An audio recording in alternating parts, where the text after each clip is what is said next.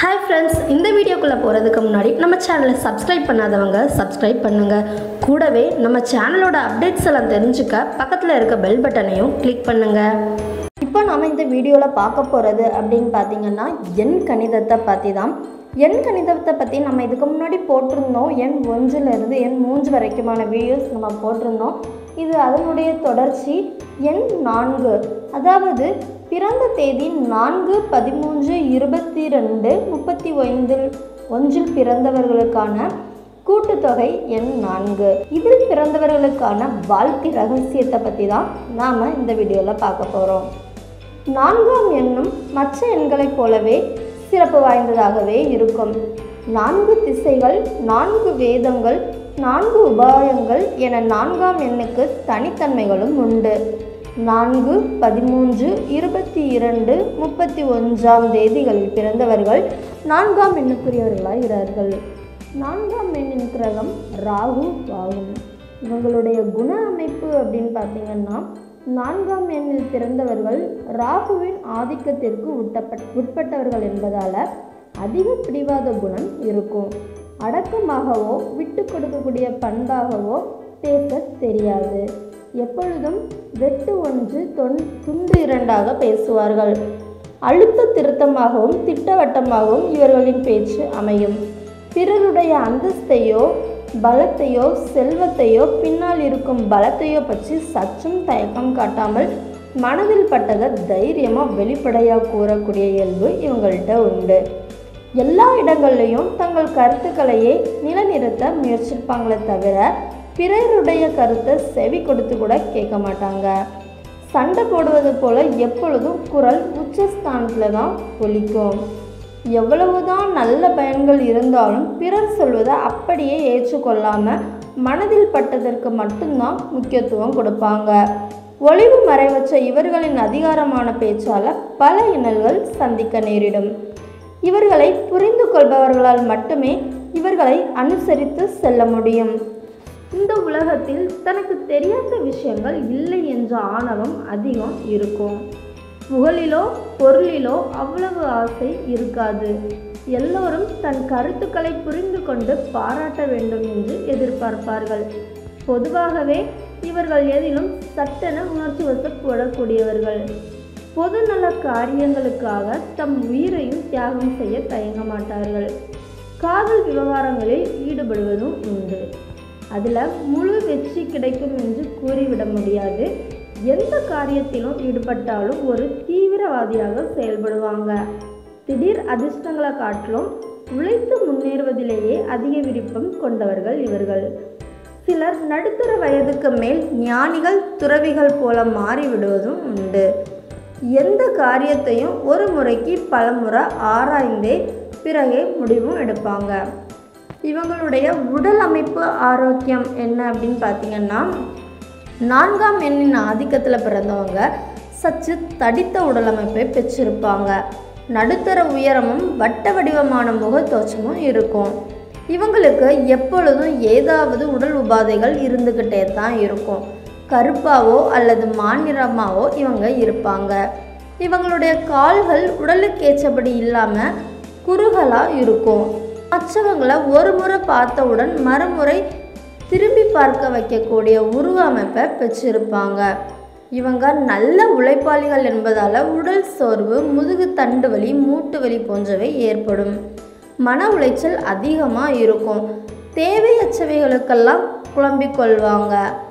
காரசாரமான பொருட்களை அதிகம் சாப்பிடுவதால் வயிறு சம்பந்தமான வியாதியும் வாயு தொல்லையும் உண்டாகும். சிறுநீரக கோளாறு வறட்டு இருமல் சளி சுவாச கோளாறு போன்றவை அடிக்கடி பாதிப்பு கொடுக்கும்.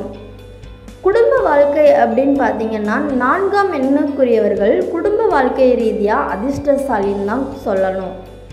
ஏன்னா இவங்களுக்கு இளம் வயதிலேயே திருமணம் நடைபெற்று விடக்கூடிய சூழ்நிலை மிக அதிகமாக இருக்குது இதனால் இவங்களுக்கு குடும்பத்தை நடத்தக்கூடிய பொறுப்பு வந்துவிடுது அதற்கேற்றால் போல இவங்களுக்கு அமையும் வாழ்க்கை துணையும் அமைதியுடனும் தெய்வ பக்தியுடனும் அமைந்து விடுறதால கணவன் மனைவி இருவருக்கும் பிரச்சனை வருவதென்பது மிகவும் அரிதுதான்.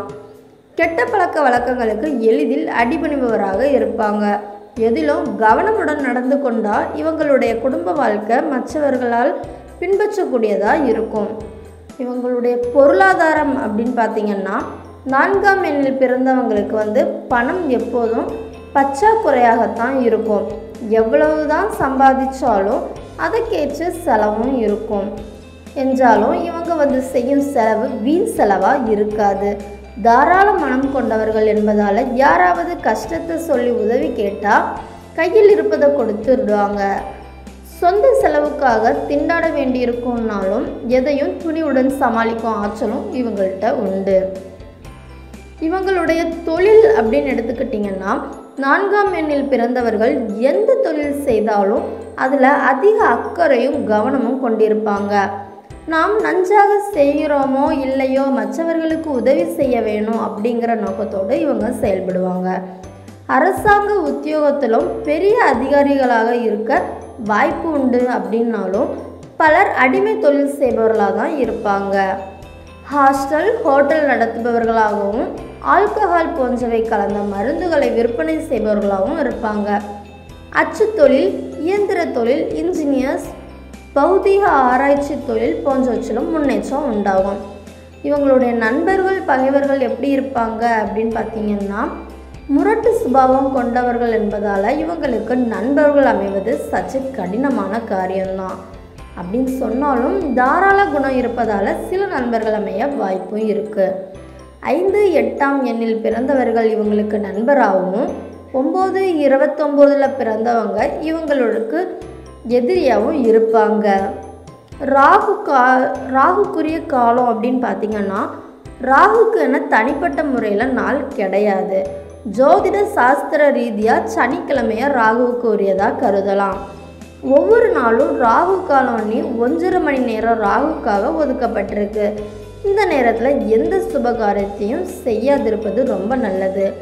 ராகுக்குரிய திசை அப்படின்னு பார்த்தீங்கன்னா தெற்கு திசை ராகுவுக்குரியது பாலைவனங்கள் குகைகள் சுடுகாடு புச்சு சுரங்கம் ஓட்டு வீடு பாலடைந்த கட்டிடங்கள் உலர்ந்து போன நிலங்கள் போன்றவை ராகுவுக்கு சொந்தமான இடங்களாகும். ராகுக்குரிய அதிர்ஷ்டக்கல் அப்படின்னு பார்த்தீங்கன்னா நான்காம் எண் ராகுவின் ஆதிக்கத்தில் இருப்பதால் நான்காம் எண் உடையவர்கள் கோமேதகத்தை அணிய வேண்டும். தேனின் நிறத்தை கொண்ட கோமேதகத்தை அணிவதால் உடல் நலம் சிறப்படையும்.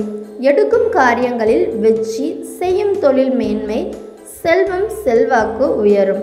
அனைத்து நற்பலன்களும் உண்டாகும். இவங்களுக்குரிய பரிகாரங்கள் நான்காம் எண்ணில் பிறந்தவங்க ராகு பகவானுக்கு பரிகாரங்கள் செய்வது உத்தமம்.